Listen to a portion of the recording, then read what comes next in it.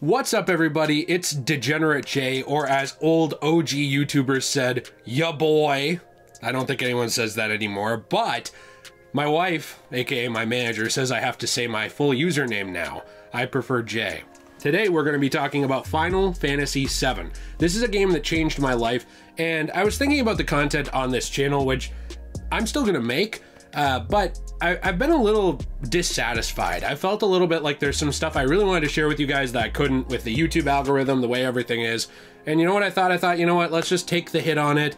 Uh, maybe for a while this stuff won't be promoted, but it's important to me to be able to share passions with you like this because this game changed my entire life, my outlook on a lot of different things, and it honestly is partially responsible for the person I am today. So I wanted to share this with you today and talk about it.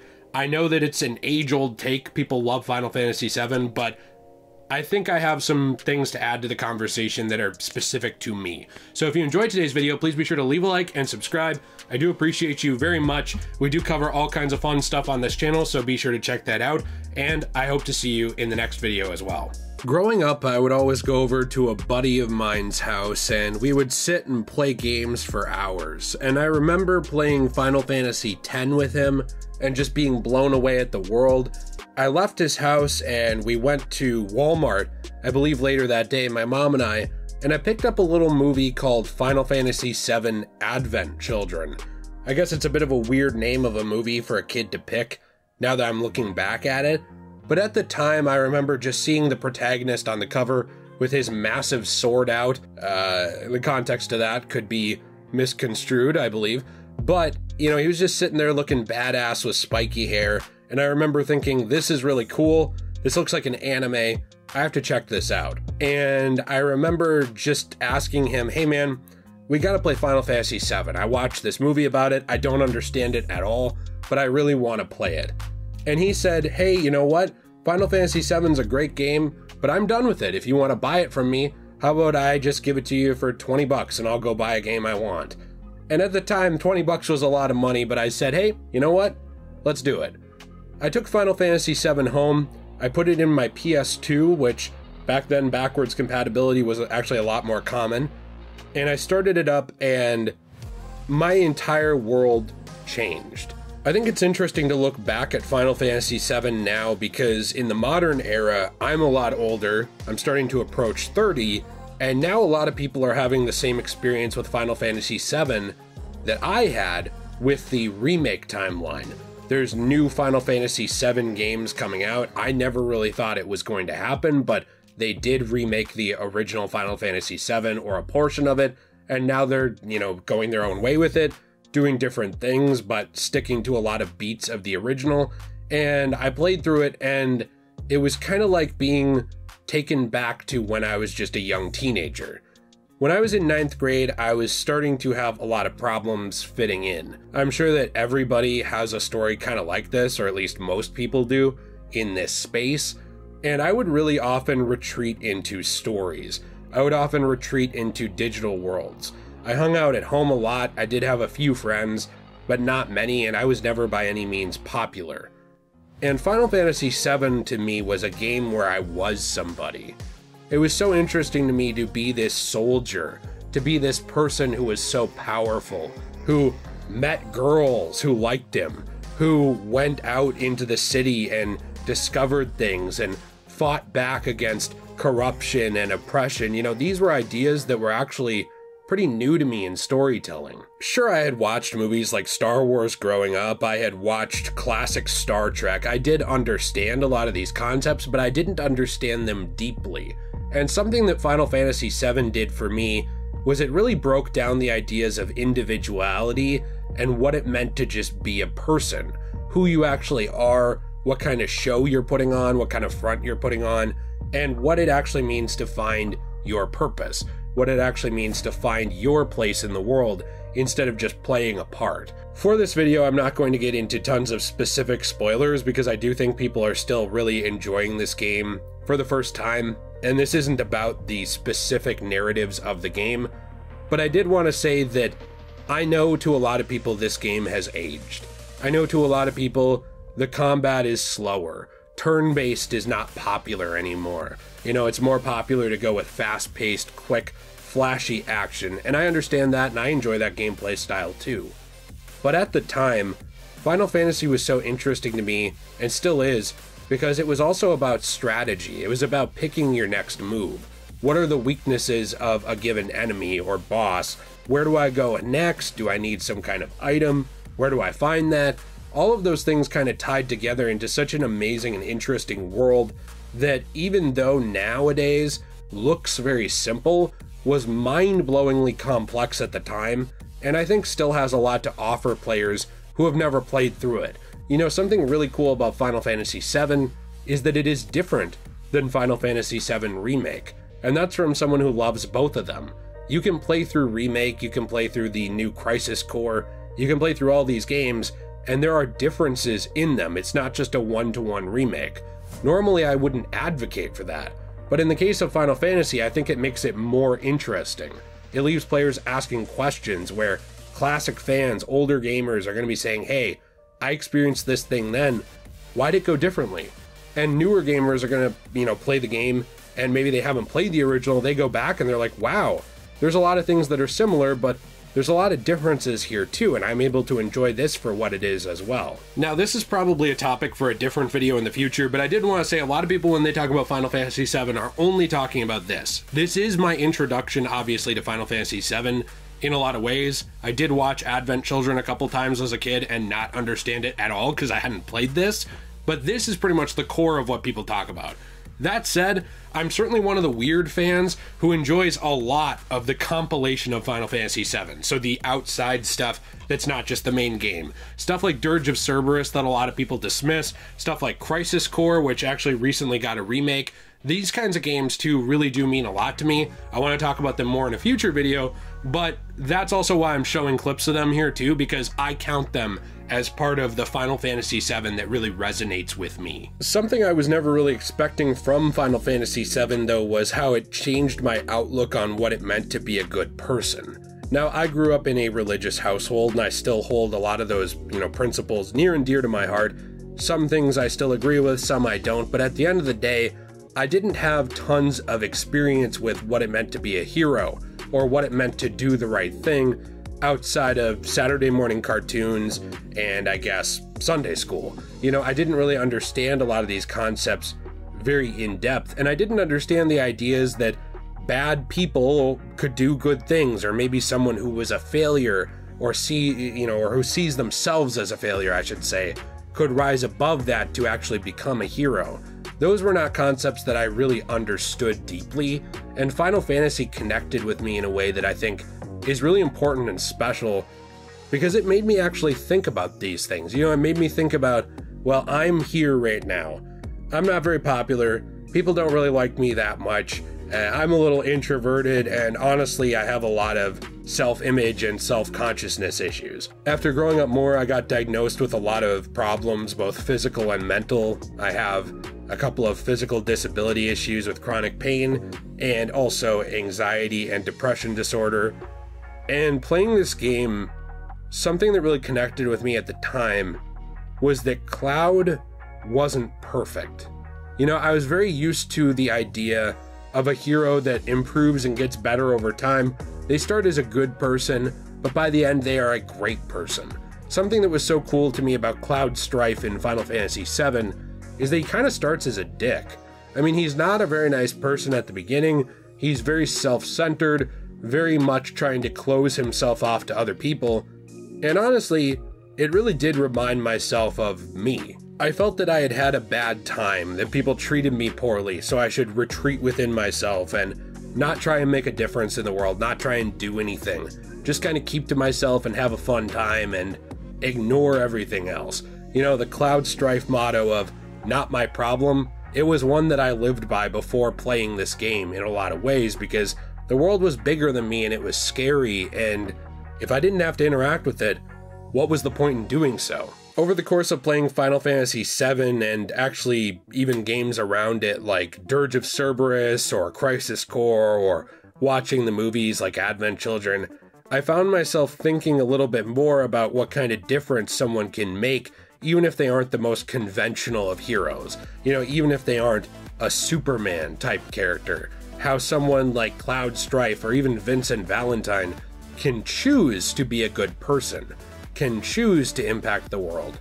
And yes, I know that it is fiction, but that fiction really resonated with me and made me think about those things and really think about the kind of person that I wanted to become. I'm in a very interesting spot as a Final Fantasy VII fan because a lot of people play the game and then they go on to play other games, like I said, like Crisis Core, and they say, well, you know what, this game's not as good. This doesn't connect with me. Oh, Final Fantasy, it never had to be a shooter. Who cares about Vincent?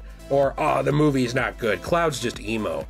You know, and I find myself not being a shill for the brand where I think everything is good, but I, I found myself in an odd position where, to me, there was always something interesting to get out of Final Fantasy VII media. That world, that mysterious world that was corrupted by evil organizations, but also magic existed in it. But also it, you know, had this insane levels of technology that interacted with nature. You know, these concepts, they stuck with me and they really sucked me in in terms of making me want to be a better person and also help our planet in the ways that I could. You know, I think that the narratives around Final Fantasy VII are so interesting and unique, and I know they've probably been done by tons of other games and movies at this point, but growing up as a kid in basically ninth grade, it was something truly special to me to connect with these themes and this world for the first time and start to give these things thought. Games like Final Fantasy VII also taught me how to read a lot better. They taught me words I never would have learned otherwise because they were text based. They didn't just read everything out loud to you. Voice acting is incredible. I love where the video game industry has gone with it, but there was something special as well about games that would just have words pop up on the screen.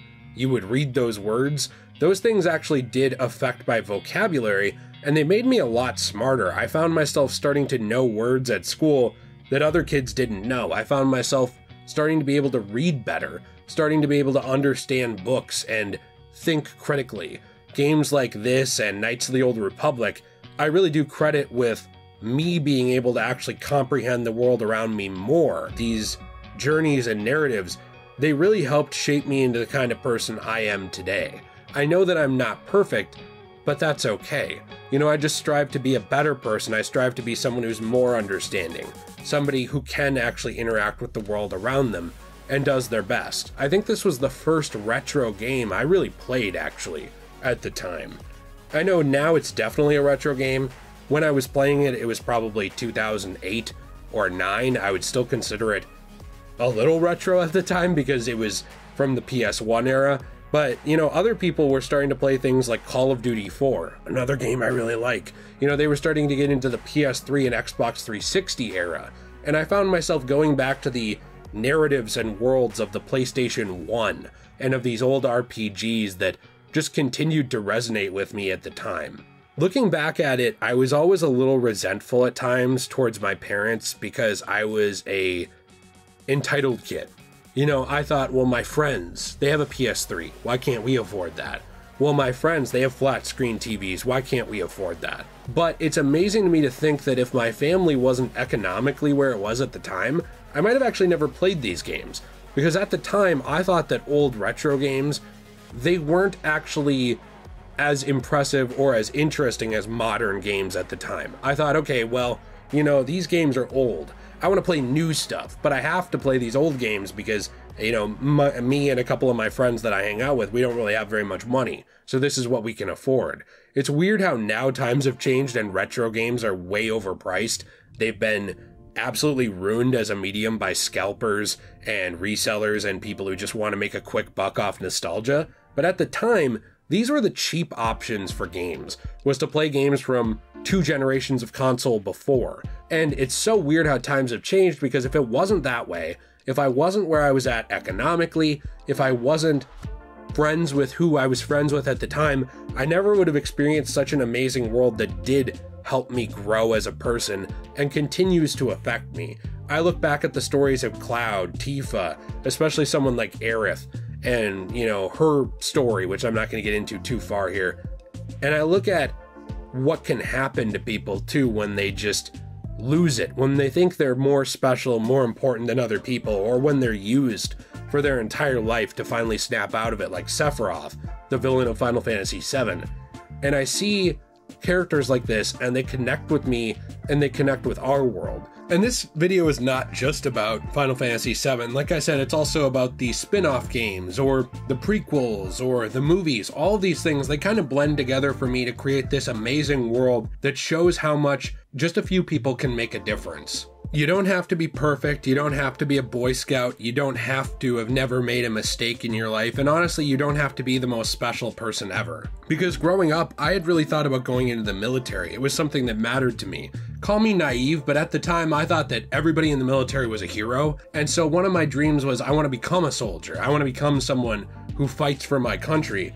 And I couldn't because I had a lot of physical problems. I had a lot of mental problems, and I didn't qualify for that kind of thing. And I remember growing up just thinking I was a failure. You know, at one point, there was a point where they didn't know what my disability was, and I couldn't really move my hands anymore. My chronic pain was so bad. Eventually, I got diagnosed with fibromyalgia along with other stuff, and there are ways to help treat it. It never goes away, but at least it helps. But at the time, nobody really had any idea what the problem was with me. It was kind of racking my body with pain and with uh, an inability to actually work in a way that my peers did. But because it wasn't super visible, nobody really noticed my disability. You know, people didn't really recognize it. It was just, I was weird. And something I really like about the story of Final Fantasy VII's world, especially in the original movie and Advent Children, and even in Dirge of Cerberus, especially, is that you see characters who feel like failures. You see characters who didn't make their dreams, who didn't actually do what they set out to do. You see Cloud Strife who grew up and wanted to be a hero. And he's not. He doesn't really think of himself that way, especially at the beginning of Final Fantasy VII. But he's still able to go on to become better than he is. You see people like Vincent Valentine who failed in a lot of ways, uh, and they are able to go on and make a difference. Like I said, I think these games, the most to me, they're about the idea of making a difference and what people can do. And that really does spur me on to be a better person every day. This is a game series that really did affect and change my life. And it's also something I'd like to make more videos on. You know, I'm not to say, oh, everything on my channel is changing, but going forward, I do really want to make more videos on games like this that stuck with me. Games that I grew up with, and especially RPG games, which are some of my favorite games in honestly all of existence.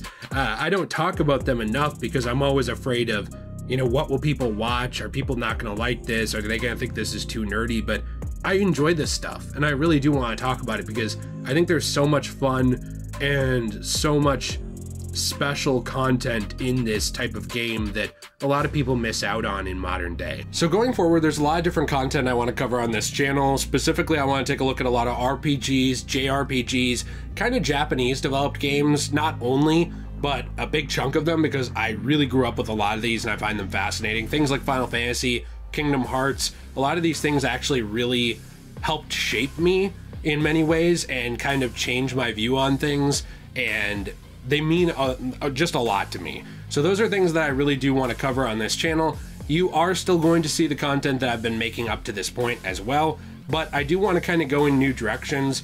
I know that I'm probably going to suffer for it a little bit at first because YouTube does not like change. Uh, audiences don't like change either. I know change is scary, but rest assured, the stuff that I already made, I'm still going to make. It's just there's a lot of other stuff I really want to cover that I'm very passionate about. So I appreciate you checking this video out. I appreciate my channel members. I appreciate my Patreon supporters. I appreciate anyone willing to leave a like on this, subscribe, leave a comment letting me know what you think because I'm excited for the future of this channel and I am glad to have you with me on it. So whether you're an old viewer or a new viewer on this channel, I would appreciate if you stuck around, checked out the channel a little bit more because we're going to be covering a lot of RPGs, JRPGs, Japanese centric games, uh, American RPGs as well, and also all the other stuff that we did before. Uh, Metal Gear Solid is a big thing that means a lot to me that we're getting into, so there's lots of fun stuff on this channel. And speaking of channels, we do also have a second channel, Degenerate Plays, where we have played through a lot of different games. We played through Demon Souls Remake. We're currently playing through Elden Ring, and uh, we're getting actually pretty close to the end of that really long game. My wife and I are going to play through Final Fantasy VII and Final Fantasy VII Ever Crisis soon over on that channel. Uh, so there's a lot of fun stuff over there. Degenerate Plays, podcast style Let's Play channel where we hang out with you, have a fun time, that is in the description down below, so I hope to see you there. Have a fantastic day, everyone, and as always, stay shway.